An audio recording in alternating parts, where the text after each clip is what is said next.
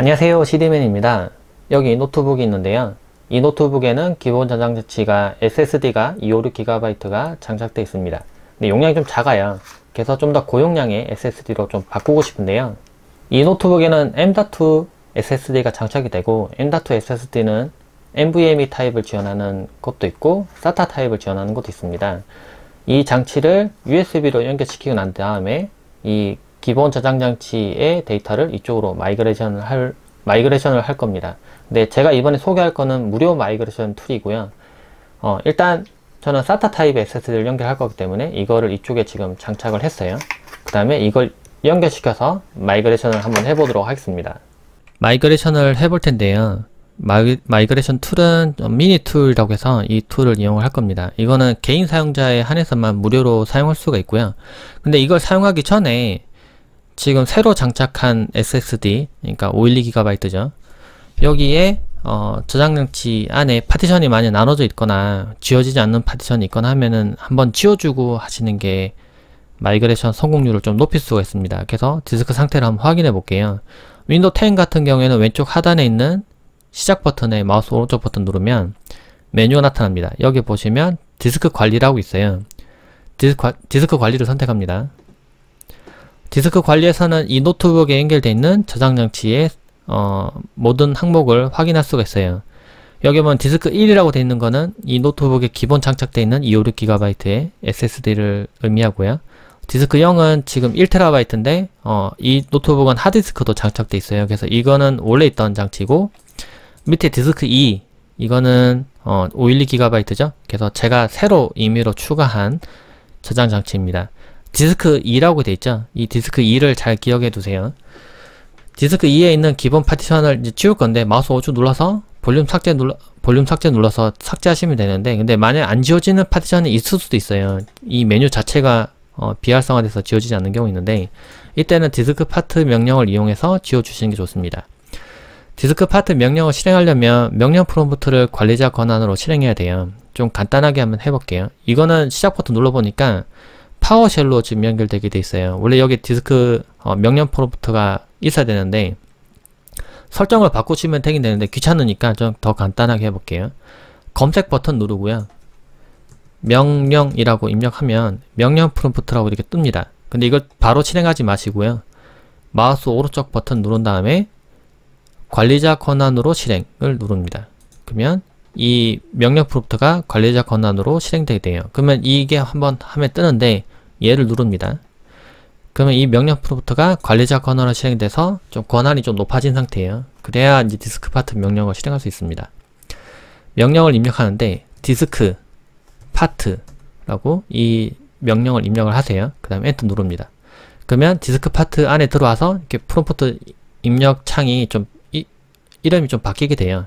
여기서 입력해야 될 거는 sel, 그 다음에 이게 선택한다는 겁니다. selection인데 원래 sel이라고 줄였대요. sel, disk, 그 다음 한 칸 더 띄우시고요. 2라고 했죠? 디스크 2라고 했죠? 그러니까 디스크 2를 선택하고 엔터 누릅니다. 그러면 디스크 2가 선택이 돼요. 그 다음에 할 거는 여기 있는 파티션을 디스크 2에 있는 이 파티션 두 개를 지금 뭐 더 여러 개일 수도 있겠죠. 이걸 그냥 다 지울 거기 때문에 명령어도 간단해요. clean 그냥 깨끗하게 지우겠다 그겁니다. clean을 입력하시고 엔터 누르세요. 그러면 정리가 됐다고 뜨고요. 여기 보시면은 이제 아까 그 두 개 있던 파티션이 싹 다 지워졌죠? 뭐 파티션이 아무리 많았던 뭐 복잡해도 그냥 다 이렇게 지워져 버려요. 까맣게 되고 할당되지 않음이라고 되어 있습니다. 그러면 이제 된 거고요. 근데 여기 보면 어, 초기화가 안 됨, 알 수 없음 이렇게 떠 있죠? 이 앞부분 눌러서 마우스 오른쪽 누릅니다. 디스크 초기화를 선택을 하세요. 그럼 디스크 초기화를 선택이 뜨는데 이거는 이제 새 SSD를 장착하면 이게 이게 뜨거든요. 근데 이거를 뭐 하셔도 되고 안 하셔도 되는데 만약에 오른쪽 눌러서 GPT로 지금 선택이 됐죠? GPT로 해놓고 확인 누릅니다. 그러면 이제 기본으로 지금 딱 된 게 보이죠? 이 작업이 되면 이제 SSD를 뭐 기본에 있던 기존에 있던 파티션을 이제 다 지워서 처음 상태로 만들었다 보시면 돼요. 그리고 이 과정은 SSD가 만약 새 거라면 뭐 굳이 안 하셔도 상관없습니다. 뭐 하셔도 상관없긴 한데 여튼 그 다음에 이제 어, migration tool을 설치할 건데요. 영상 하단에 있는 제가 링크를 두겠습니다. 이 사이트로 접속을 해서 들어옵니다. 그러면은 어, 좀 내려보면은 여기 중간에 파티션 어, 마법사라고 지금 있습니다. 이거를 선택을 하세요. 이거는 개인 사용자에 한해서는 무료입니다. 선택하시고요. 그러면은 이 창이 또 바뀌고 어, download freeware라고 지금 돼 있죠? 가운데 있는 이 버튼을 누르세요. 그러면 뭐 잠깐 이 창이 뭐 뜹니다. 그리고 지금 첫 번째 창이 깜빡깜빡하죠? 이걸 다시 첫 번째 눌러보면 밑에 지금 다운로드가 지금 떠 있는 게 보여요. 이거 실행을 누릅니다. 그래서 설치를 한번 해보죠. 이건 초보자를 위한 거기 때문에 아주 쉽게 설명하겠습니다. 선택하고 예. 네, 언어는 영어로 하세요. 영어밖에 없는 것 같아요. 다른 거는 독일어나 뭐 일본어 저도 모르기 때문에 영어 선택하시고 오케이.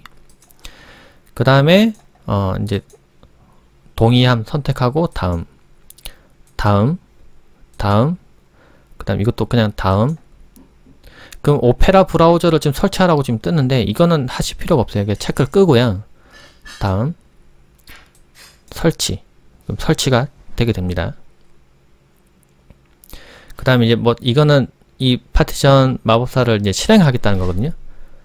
체크된 상태로 이제 끝마침을 누르면 뭐 잠깐 뭐 창이 떠요. 이거는 이제 유료 버전 쓰라는 수준인데 뭐 다 필요 없으니까 다 닫아버립니다.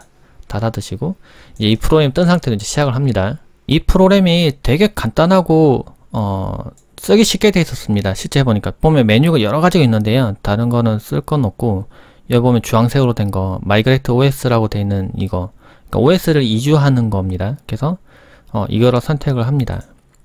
그럼 바로 이 창이 떠요. 그리고 어, 여기 보면 A가 있고 B가 있는데요. 간단히 설명하면 A는 모든 파티션을 옮기는 거고 B는 이제 제가 선택한 파티션만 옮기는 겁니다. 근데 저는 다 옮길 거기 때문에 일단 A를 선택하세요.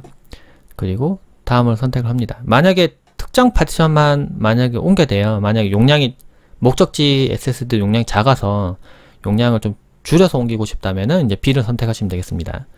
A를 선택하고 다음 그러면은 이제 목적지를 선택하라고 뜹니다. 이제 원본은 이 운영체제가 어, 노트북에 부팅을 할 수 있는 기본 저장 장치를 선택이 기본으로 돼 있는 거고 그러니까 목적지 디스크를 선택하라고 돼 있죠. 그러니까 목적지 선택하는데 여기 보면 어떤 거 선택해야 될지 좀 헷갈리죠. 보시면 저는 어떻게 보고 있냐면은 어, 지금 이 디스크 2라고 되어 있는 어, 256GB는 원래 장착되어 있던 SSD예요. 그리고 여기는 1TB는 어, 원래 장착되어 있던 어, 하드디스크이고 근데 둘다 SATA라고 되어 있죠. SATA, SATA 맨 끝에 SATA라고 되어 있죠. 근데 이건 노트북 기본 장착되어 있는 거고 맨 밑에 보니까 어 이거는 USB로 연결되어 있는 거예요. 그러면 제가 USB 연결한 거는 새 SSD를 장착한 거 이거 하나뿐이죠. 그러니까 목적지가 이겁니다. 이거를 선택하시고요. 그 다음 다음을 누릅니다. 그러면 목적지에 있는 디스크가 어, 데이터가 다 지워질 건데 괜찮냐 이렇게 묻습니다. 이거 선택하 얘를 선택하기 전에 제가 정확하게 선택했는지 한 번 더 확인합니다. 그 다음 얘를 누릅니다.